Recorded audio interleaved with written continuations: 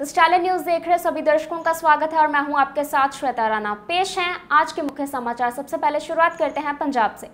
पंजाब के गाँव को कोरोना संक्रमण रहित बनाने के लिए राज्य सरकार ने कोरोना मुक्त पिंड अभियान की शुरुआत की है। मुख्यमंत्री कैप्टन अमरिंदर सिंह ने संक्रमण प्रसार को रोकने के लिए बैठक में ग्रामीण कोविड विजय कार्यक्रम की घोषणा की। उन्होंने कहा कि आशा कार्यकर्ता, ग्रामीण पुलिस अधिकारी और युवा स्वयं सेवी इस अभियान का हिस्सा होंगे। उत्तर प्रदेश के गाँव में पैदा हुई स्थिति ऐसी बचने के लिए पंजाब के मुख्यमंत्री कैप्टन अमरिंदर सिंह ने इस जंग में समुदाय के सभी वर्गो को शामिल करने आरोप ज़ोर देते हुए स्वास्थ्य और ग्रामीण विकास एवं पंचायत विभाग को निर्देश दिए कि गाँव में सभी भाईचारों को लामबंद करने के लिए बड़े स्तर पर मुहिम शुरू की जाए। इस दौरान उन्होंने आदेश दिए कि जिन गाँव में सौ फ़ीसदी वैक्सीनेशन पूरी हो जाएगी, उन्हें दस लाख रुपए की ग्रांट जारी की जाएगी। जगराव की नई दाना मंडी में सी स्टाफ के दो एसआई भगवान सिंह और दलविंदर सिंह को गोली मारकर हत्या करने वाले आरोपी जयपाल और उसके साथी की तलाश में लुधियाना और जगराव पुलिस ने चंडीगढ़ में रेड की। पुलिस ने वहाँ से दो लोगों को हिरासत में लिया है। वहीं मामले में खुलासा हुआ है कि जयपाल पिछले छह महीने से फर्जी ड्राइविंग लाइसेंस दिखाकर एनआरआई के घर पर किराए पर रह रहा था।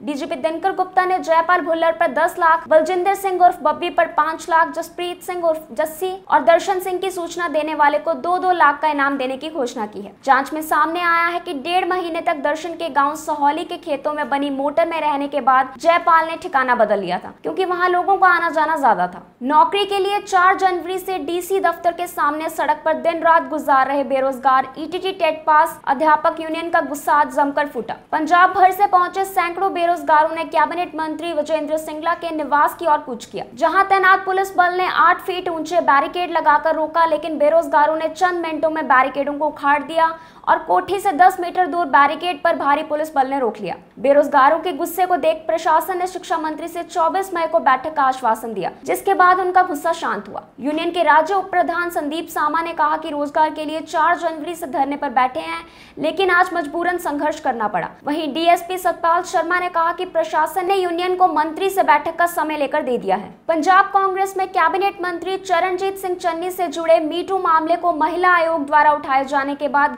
घमासान बढ़ता ही जा रहा है। आज तकनीकी शिक्षा मंत्री चरणजीत सिंह चन्नी की सेक्टर दो स्थित कोठी में नाराज़ मंत्रियों व विधायकों की बैठक चली। बताया जा रहा है की बैठक में सहकारिता मंत्री सुखजिंदर सिंह रंधावा, विधायक प्रगट सिंह, नथुराम, सुरजीत धिमान सहित अन्य विधायक शामिल हुए। बता दें, कल पंजाब राज्य महिला कमीशन की चेयरपर्सन मनीषा गुलाटी की तरफ़ से चन्नी के खिलाफ मीटू मामले की फ़ाइल दोबारा खोलने की मांग की गई है। मनीषा गुलाटी ने कहा कि अगर अधिकारियों ने इस संबंध में एक हफ़्ते में रिपोर्ट नहीं दी तो वह भूख हड़ताल पर बैठ जाएँगी। चन्नी के खिलाफ कुछ वर्ष पूर्व एक महिला आईएएस अफसर ने मीटू का आरोप लगाया था। तब भी मामला खूब उछला था, लेकिन तब सीएम कैप्टन अमरिंदर सिंह ने मामले को संभाल लिया था। अब एक बार फिर यह मामला उछला है। माना जा रहा है की यह मामला इसलिए उठा है क्यूँकी चेन्नई कैप्टन के विरोधी धड़े के नज़दीक आए हैं। अमृतसर के कंबो थाने के अधीन पड़ते नंगली गाँव में लूट की एक खूनी वारदात को अंजाम दिया गया। दो निहंग फाइनेंस कंपनी के कर्मचारी का हाथ काटकर कैश छीनकर फरार हो गए। ब्याज की किश्तों की रिकवरी करके कर्मचारी लौट रहा था कि निहंग के वेश में आए बाइक पर सवार दो युवकों ने फाइनेंस कंपनी के करिंदों का हाथ काट कर उससे पंद्रह सौ रुपए लूट लिए। रास्ते से जा रहे लोगों ने जब घायल को देखा तो उन्होंने किसी तरह उसे अस्पताल में दाखिल करवाया। घटना के बारे में पता चलते ही पुलिस ने नाकाबंदी कर दी। थाना प्रभारी यादविंदर सिंह ने बताया कि आरोपियों की गिरफ्तारी के लिए छापेमारी की जा रही है। कोरोना की आड़ में प्राइवेट अस्पतालों की लूट पर जलंधर में पहली बड़ी कार्रवाई हुई है। मरीज़ का कोरोना टेस्ट किए बगैर ही शमशेर अस्पताल में उसका कोविड का इलाज किया जा रहा था। यही नहीं, लेवल टू वाले कोविड केयर में मरीज़ को लेवल तीन यानी ऑक्सीजन सपोर्ट का ट्रीटमेंट देकर मोटा बल बना दिया। इस दौरान मरीज़ की भी मौत हो गई। मामले की शिकायत मिली तो शमशेर अस्पताल की कोविड केयर फैसिलिटी सस्पेंड कर दी गई। अब वो नया मरीज़ भर्ती नहीं कर सकेंगे। वहीं विस्तृत जाँच के लिए चार सदस्य कमेटी बना दी गई। है। अब खबरें होशियारपुर से।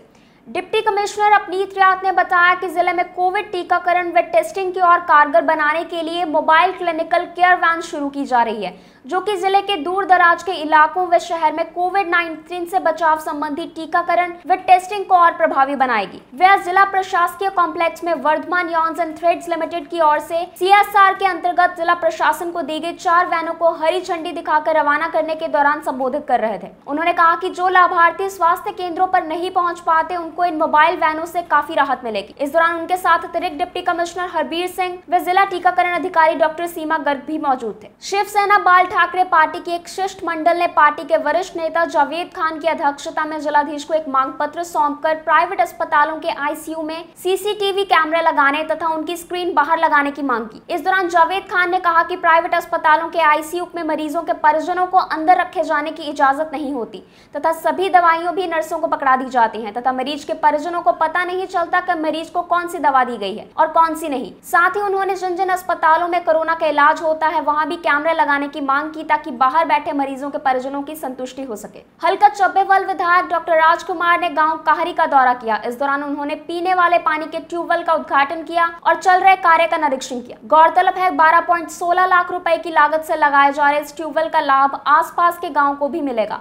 इसके साथ ही गाँव निवासियों की पानी से जुड़ी समस्या भी हल हो जाएगी। इस अवसर पर डॉक्टर राज ने कहा कि उनकी कोशिश रहती है कि वह हल्का वासियों को पेश आ रही समस्याओं का पहल के आधार पर हल करवाएँ। इसके लिए सरकार की तरफ़ से ग्रांट की कोई कमी पेश नहीं आने दी जाती। होशियारपुर ऑटोमोबाइल में दूसरा कोविड वैक्सीन टीकाकरण कैंप आयोजित किया गया। होशियारपुर ऑटोमोबाइल हमेशा ही समाज भलाई के कार्यो में बढ़ चढ़कर हिस्सा लेता रहा है। एम डी अजविंदर सिंह व गुरप्रीत सिंह के दिशा निर्देशों अनुसार कंपनी के सभी कर्मचारियों के लिए कोविड वैक्सीन का लगा होना लाजमी है। इसी सिलसिले में आज शोरूम में कोविड टीकाकरण कैंप लगाया गया, जिसमें करीब 50 कर्मचारियों का टीकाकरण किया गया। पंजाब फाइट्स कोरोना अभियान के तहत मुख्यमंत्री कैप्टन अमरिंदर सिंह ने वीडियो कॉन्फ्रेंस के माध्यम से समस्त पंजाब वासियों को सभी स्वास्थ्य नियमों का पालन करके कोरोना वायरस से निजात पाने का संदेश दिया। कोरोना वायरस के खिलाफ टीकाकरण को बढ़ावा देने के उद्देश्य से मुख्यमंत्री कैप्टन अमरिंदर सिंह ने ऐलान किया कि 100 प्रतिशत कोरोना के खिलाफ टीकाकरण करवाने वाले गाँव को दस लाख रूपए की ग्रांट दी जाएगी। मुख्यमंत्री द्वारा की गई घोषणा का विधायक अरुण डोगरा मिक्की ने स्वागत करते हुए इसे सराहनीय कदम बताया बीडीपीओ कार्यालय तलवाड़ा में वीडियो कॉन्फ्रेंसिंग प्रोग्राम उपरांत विधायक अरुण डोगरा ने कहा कि कोरोना वायरस के खिलाफ टीकाकरण एवं सभी स्वास्थ्य नियमों का पालन करके ही हम इस समस्या से निजात पा सकते हैं। कृषि विज्ञान केंद्र के deputy director doctor Manvinder Singh Bains ने बताया की पंजाब कृषि विश्वविद्यालय की ओर से धान की सीधी बिजाई की सिफारिश की गई है, जिसको बड़े स्तर पर पिछले वर्ष किसानों की ओर से अपनाया गया था। उन्होंने कहा कि यूनिवर्सिटी की ओर से नई तकनीकों से किसानों को वाकिफ करवाने के लिए कृषि विज्ञान केंद्र बाहुबल की ओर से धान की सीधी बिजाई संबंधी वेबिनार आयोजित किया गया। डिप्टी डायरेक्टर ने कहा कि गिरते भूजल स्तर के मद्देनजर पानी को संभालना समय की मुख्य ज़रूरत है। उन्होंने बताया कि सीधी बिजाई की तकनीक को इस बार बड़े स्तर पर किसानों तक पहुँचाने के लिए पंजाब कृषि विश्वविद्यालय, कृषि व किसान भलाई विभाग पंजाब की ओर से मिलकर प्रयास किए जा रहे हैं। उन्होंने कहा कि धान की सीधी बिजाई तकनीक से पानी व लेबर की भी बचत होती है। भाजपा महिला मोर्चा पंजाब की प्रदेश उपाध्यक्ष नीति तलवार की अगुवाई में माता चिंतपूर्णी चौक के समीप विशेष अभियान चलाकर लोगों को कोरोना से बचाव हेतु जागरूक किया गया। इस अवसर पर नीति तलवार ने कहा कि बहुत से लोग आज भी कोरोना महामारी को हल्के में ले रहे हैं और ऐसे लोगों के कारण ही यह महामारी दिन प्रतिदिन विकराल रूप धारण कर रही है। उन्होंने कहा कि इस पर थोड़े से संयम व जागरूकता से काबू पाया जा सकता है। डॉक्टर हेडगेवार स्मारक समिति की तरफ़ से ट्रैफ़िक पुलिस के सहयोग से गौशाला बाज़ार, अफगान रोड व सब्ज़ी मंडी में बिना मास्क लगाकर जा रहे लोगों को मास्क भेंट किए गए और लोगों को कोरोना के प्रति जागरूक किया गया। इस मौके पर राजीव महाजन व राकेश सहारन ने बताया कि समिति की तरफ़ से अलग अलग टीमें बनाकर कार्य किया जा रहा है, ताकि लोगों को कोरोना महामारी से बचाया जा सके। उन्होंने बताया कि उनकी इस मुहिम में ट्रैफ़िक पुलिस का सराहनीय सहयोग दिया जा रहा है, जिसके लिए समिति उनका धन्यवाद करती है। कोरोना वायरस के बढ़ते संक्रमण के कारण विद्यार्थियों के लिए स्कूल बंद है। ऐसे में स्कूलों ने पढ़ाई का स्वरूप ही बदल दिया है। अब पढ़ाई जूम ऐप स्काइप गूगल और वेबिनार से हो रही है। सरकारी एलिमेंट्री स्कूल सटियाना के अध्यापकों की ओर से कोरोना काल में बच्चों को जूम क्लासेस लगाकर पढ़ाया जा रहा है। कक्षाएँ जिला शिक्षा अधिकारी संजीव गौतम के मार्गदर्शन में लगाई जा रही हैं। इसमें बच्चे पूरा रिस्पॉन्स कर रहे हैं। अध्यापिका परवीन गुलियानी और अध्यापिका कमलदीप ने बताया कि कोरोना के चलते जिला प्रशासन ने वर्क फ्रॉम होम के निर्देश दिए हैं, लेकिन कोई भी बच्चा पढ़ाई से वंचित न रहे, इसलिए अध्यापकों ने प्रतिदिन जूम क्लास लगाकर बच्चों को सिलेबस के अनुसार पढ़ाया जा रहा है। जिला magistrate cum deputy commissioner Apneet Riyait ने खाद्य पदार्थों की रेहड़ी लगाने वालों को रोज़ाना सुबह 11 बजे से 3 बजे तक रेहड़ियाँ लगाने की छूट दे दी है।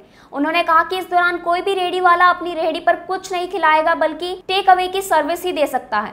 डिप्टी कमिश्नर ने निर्देश दिए कि रेडी वालों के लिए स्वास्थ्य प्रोटोकॉल का पालन करना ज़रूरी है। इस दौरान रेडी वाले जहाँ खुद भी मास्क अनिवार्य तौर पर पहनेंगे, वहीं बिना मास्क के किसी को भी टेक अवे की सेवा नहीं देंगे। इसके अलावा सभी रेडी वालों को सामाजिक दूरी के नियम के पालन के साथ साथ सैनिटाइजर रखना भी अनिवार्य होगा। नगर कौंसिल मुकेरिया के वार्ड नंबर ग्यारह की पार्षद पूनम रत्तू ने कौंसिल पर उनके वार्ड के साथ सौतेला व्यवहार किए जाने का आरोप लगाते हुए बताया की पिछले एक सप्ताह से उनके वार्ड में सफ़ाई सेवकों को नहीं भेजा जा रहा, जिसके चलते वार्ड में जगह जगह पर गंदगी का आलम पनपा हुआ है।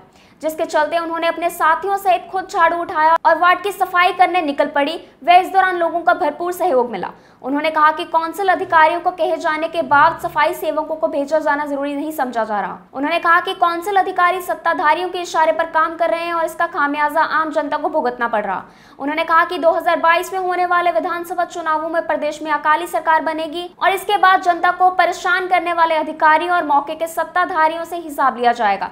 लेकिन जनता को किसी भी तरह से परेशानी पेश नहीं आने दी जाएगी। अब खबरें देश विदेश व पड़ोसी राज्यों से। सऊदी अरब में काम कर रहे लाखों भारतीयों को बड़ा झटका लगा है। कोविड महामारी के मद्देनजर सऊदी अरब ने पिछले साल लगाए गए यात्रा प्रतिबंध को हटा दिया है। सऊदी अरब ने कहा है की वह पाकिस्तान सहित कई देशों पर लगाए गए यात्रा प्रतिबंध को हटा रहा है, लेकिन भारत से आने वाले यात्रियों पर यह जारी रहेगा। सऊदी अरब ने पाकिस्तानी पीएम इमरान खान की यात्रा के बाद यह प्रतिबंध हटाया है। सऊदी अरब के आंतरिक मंत्रालय ने घोषणा की कि सतारह मई को सभी सीमाओं, वायु भूमि और समुद्र को पूरी तरह से खोल दिया जाएगा। यह कहा गया है कि सऊदी अरब उन लोगों के साथ यात्रा करने की अनुमति देगा जिन्हें कोविड टीके मिले थे और जो छह महीने से कम समय में संक्रमण से उबर चुके थे। 18 वर्ष से कम उम्र के नागरिक यात्रा कर सकते हैं यदि उनके पास स्वास्थ्य बीमा पॉलिसी है जो कोरोना वायरस से संबंधित जोखिमों को कवर करती है। इसराइल के प्रधानमंत्री बेंजामिन नेतन्याहू ने एक बड़ा ऐलान किया है और वो भी ऐसे समय जब दुनिया भर के कई देश इसराइल और हमास के बीच शांति कायम रखने की अपील कर रहे हैं। प्रधानमंत्री नेतन्याहू ने कहा कि फिलिस्तानी उग्रवादी गुट हमास के खिलाफ भीषण हमले जारी रहेंगे।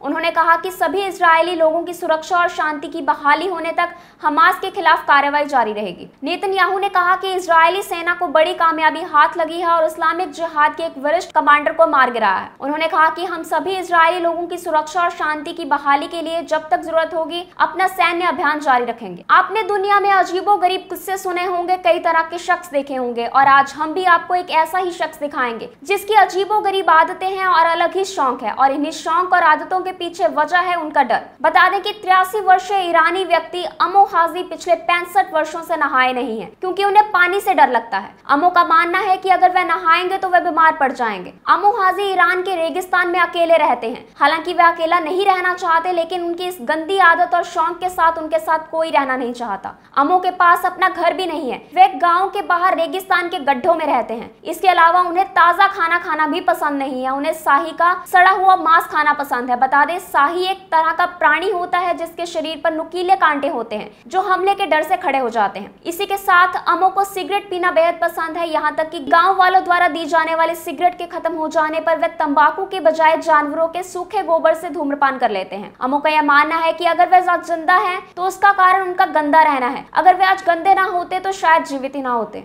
अमेरिका में आतंकवाद के मामले में दोषी करार एक शख्स ने भरी अदालत में अपना गला काट लिया। यह देखकर अदालत में बैठे सभी लोग काँप उठे। मौके पर मौजूद पुलिस और लोगों ने शख्स को बचाने की कोशिश की, लेकिन सफल नहीं हो सके। अमेरिका के नॉर्थ डिकोटा के फार्गो में हुई इस घटना के बाद कई सवाल उठ रहे हैं। आखिर शख्स के पास नुकीला हथियार मिला कैसे? उसने पुलिस की मौजूदगी में यह खौफनाक कदम कैसे उठा लिया? इस घटना से पहले अदालत आरोपी के खिलाफ फैसला सुना चुकी थी और उसे दोषी करार कर दिया था। वही यूएस मार्शल कार्लसन ने कहा कि शख्स के पास प्लास्टिक का कोई नुकीला उपकरण था, जिसके साथ उसने अपना गला काट लिया। इसराइल में फंसे भारतीयों की मदद के लिए एक क्रिकेट क्लब आगे आया है। दक्षिणी इसराइली ने वीर शेबा शहर में स्थित इस क्लब ने वैन गुरेन यूनिवर्सिटी के कई भारतीय अनुसंधानकर्ताओं को सुरक्षित ठिकाना उपलब्ध कराया है। ये सभी छात्र पिछले एक सप्ताह से जारी फिलिस्तीन के हमलों के बाद से आश्रय की तलाश में यहाँ वहाँ भटक रहे थे। इस दौरान क्रिकेट क्लब के अध्यक्ष नोआर गुटकर ने कहा कि क्लब में सभी का स्वागत है, जिसे भी सुरक्षित पना चाहिए, वो यहाँ आ सकता है। उन्होंने आगे कहा कि हमारे साथ कई भारतीय अनुसंधानकर्ता रह रहे हैं, जिनमें लड़के और लड़कियाँ दोनों शामिल हैं। हम उन्हें हर संभव मदद मुहैया कराने का प्रयास कर रहे हैं। पद्मश्री पुरस्कार से सम्मानित और इंडियन मेडिकल एसोसिएशन के पूर्व राष्ट्रीय अध्यक्ष डॉक्टर के के अग्रवाल का निधन हो गया। वे बासठ साल के थे। पिछले कई दिनों से वे एम्स में भर्ती थे। उन्हें एक सप्ताह से वेंटिलेटर सपोर्ट पर रखा गया था। अग्रवाल एक हृदय रोग विशेषज्ञ और heart care foundation of India के प्रमुख भी थे। उन्हें 2005 में डॉक्टर बीसी राय पुरस्कार और 2010 में पद्मश्री मिला था। चीन और पाकिस्तान जैसे पड़ोसी देशों के साथ जारी तनाव के बीच देश की तीनों सेनाएँ अपने अपने मोर्चे पर मजबूती से डटी हुई है। इसी बीच भारतीय नौसेना को परमाणु हथियारों से लैसे छह पनडुब्बियों की ज़रूरत है। भारतीय नौसेना ने प्रशांत महासागर में बदलते रणनीतिकार परिदृश्य को देखते हुए कैबिनेट कमेटी ऑफ़ सिक्योरिटी की ओर से अनुमोदित 30 वर्षीय पनडुब्बी निर्माण योजना में बदलाव करने के लिए केंद्र सरकार से इजाज़त मांगी है। नौसेना छह पारंपरिक हमले वाले जहाजों का परमाणु संचालित प्लेटफॉर्मों के साथ बदलाव करना चाहती है। भाजपा के वरिष्ठ नेता और जम्मू कश्मीर के पूर्व राज्य मंत्री प्रोफेसर चमन लाल गुप्ता का जम्मू के काटड़ा स्थित नारायण अस्पताल में निधन हो गया। प्रोफेसर चमन जम्मू कश्मीर में शेर डुग्गर के नाम से जाने जाते थे। उनके निधन से प्रदेश में हर कोई शोक में है। जानकारी के अनुसार प्रोफेसर चमन कोरोना पॉजिटिव थे और कटरा के नारायण अस्पताल में उनका इलाज चल रहा था।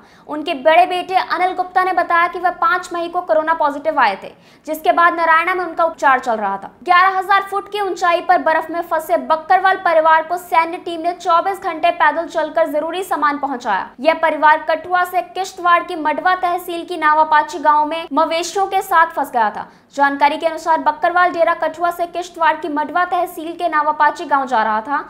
इस दौरान वह बर्फ़ में फंस गया।